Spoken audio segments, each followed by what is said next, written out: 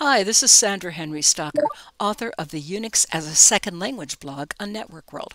In this Linux tip, we take a look at the fdisk-l command that provides a lot of details on disk partition tables.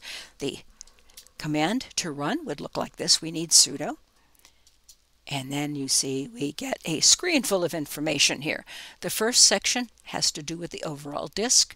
We can see the disk model in here, the size of the disk, um, the disk label and identifier. So that's good information.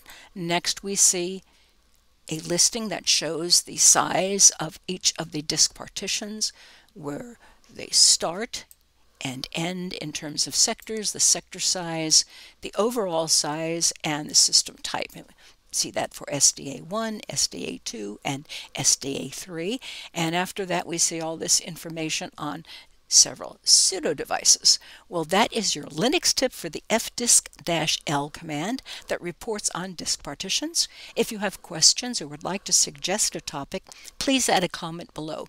And don't forget to subscribe to the InfoWorld channel on YouTube. If you like this video, please hit the like and share buttons. For more Linux tips, be sure to follow us on Facebook, YouTube, and networkworld.com.